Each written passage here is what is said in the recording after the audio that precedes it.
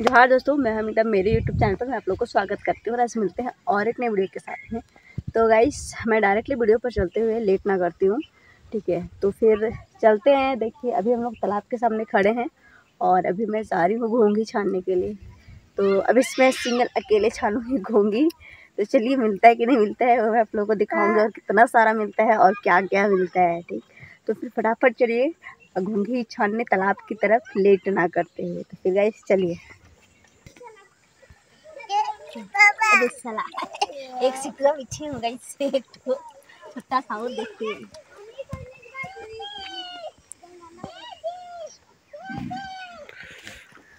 इधर देखो बेटी। छोटा बहुत सारा काका बन जाता है।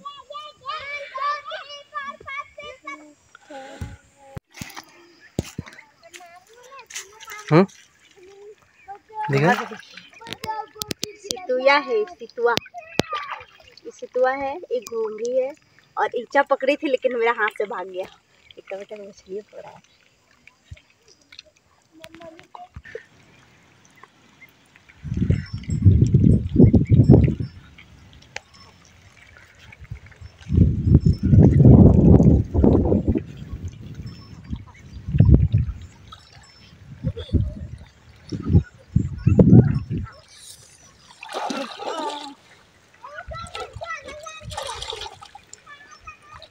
ठंडा गाइस अभी मैं लेके निकल रही हूँ अभी। ठंडा काफ़ी ज़्यादा लग रहा है तो चलिए यहाँ इतना सारा मैं लेके आई हूँ अभी। चलिए, इसको घर लेके चलते हैं तो गाइस इतना मेरे हस्बैंड ढूंढे हैं, यहाँ पे देख लीजिए। और अभी इसको इसमें मिलाएँगे हटो हटो हटो हटो बेटा हटो अरे गिरा बेटा उठा। ठंडा भी लग रहा है बहुत ज़्यादा। नीचे पीछे थे लोग सब भाग गया। और तब मज़ा आता तो हम घर जा रहे हैं गाइस ठंडा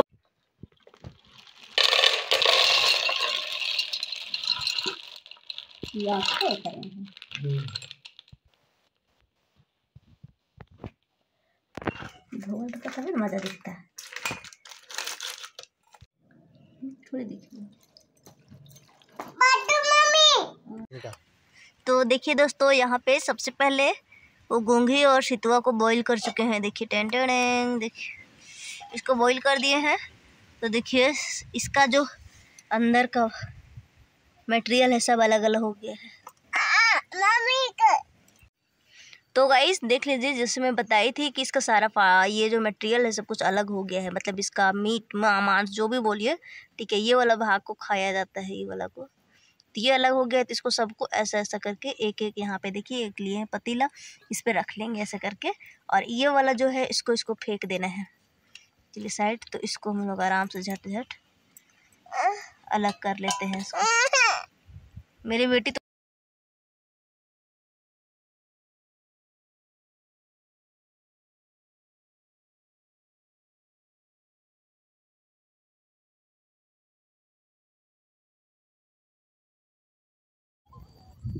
तो गाइज़ यहाँ पे देख सकते हैं, इसको अच्छे तरीके से निकाल दिए हैं और उसके बाद आपको सही से आपको धो लेना है।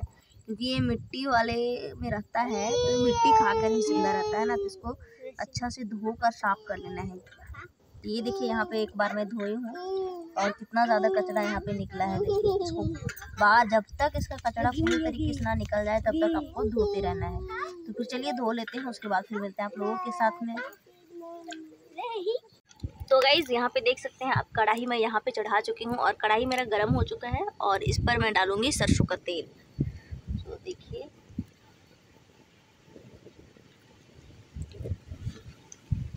हवा चल रहा है पूरा।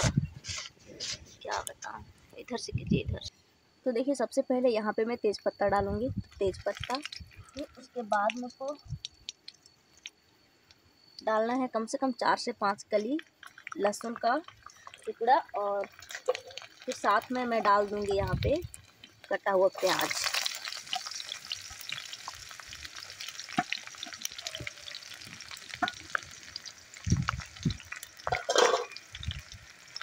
फिर इसको अच्छे तरीके से ब्राउन होने तक फ्राई कर लेना है। तो गैस यहाँ पे कुछ रेड हो गया है तो यहाँ पे देखिए कम से कम दो हमको रेड मिर्ची डालना है। तो यहाँ पे आप हरा मिर्च का प्रयोग कर सकते हैं। लेकिन मैं हरा मिर्च किसी हूँ, इसीलिए यहाँ पे दो गो रेड मिर्ची का यूज़ करती हूँ। अब प्याज मेरा भून चुका है तो अब मैं डालूँगी यहाँ पे घूँगी को। देख लीजिए यहाँ पे। तो इसको मैं थोड़ा सा भून लूँगी। अब इसको आपको अच्छे तरीके से भून लेना है इसको। बहुत ज़्यादा भी नहीं भूनना है, नहीं तो सूखने जैसा हो जाएगा।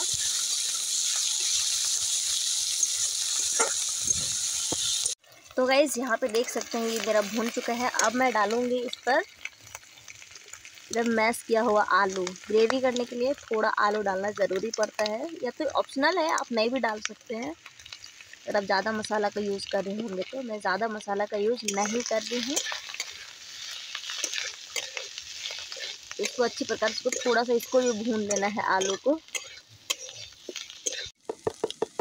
यहीं पे आपको स्वाद अनुसार आपको नमक डाल लेनी है। तो यहाँ पे मैं एक चम्मच नमक का उपयोग कर रही हूँ।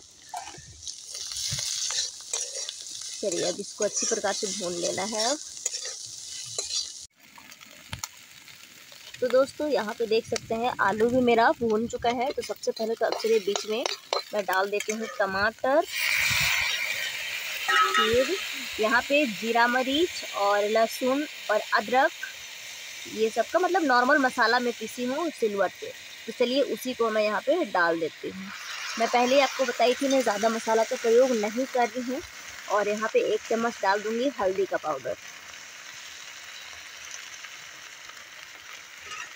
चलिए इन सारी चीज़ों को इस प्रकार से ढक देंगे।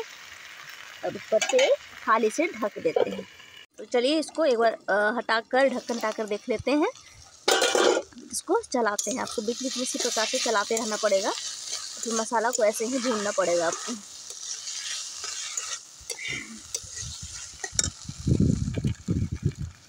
मेरा लकड़ी भी कम हो गया।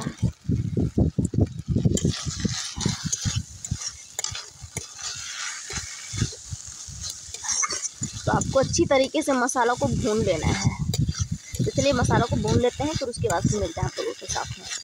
तो दोस्तों, मेरा मसाला यहाँ पे भून चुका है। आप देख सकते हैं, एकदम पूरा देखने में बिल्कुल एकदम कैसा दिख रहा है, उसको आप बता सकते हैं कमेंट्स में। तो देखिए, मसाला मेरा भून कर एकदम तैयार है। अब इस पर मुझको डालना है पानी। फ़ोटो ले लीजिए। चलिए, इसको पानी डालते हैं। इसका ग्रेवी आप अपने अनुसार से रख सकते हैं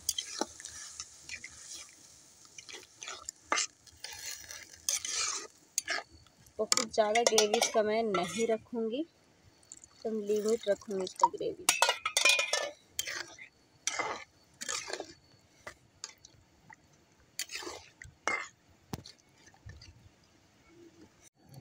तो गाइज़ इसको अब खोलने के लिए ढक देते हैं। तो दोस्तों, यहाँ पे सब्ज़ी मेरा खोल कर तैयार है, आप देख सकते हैं।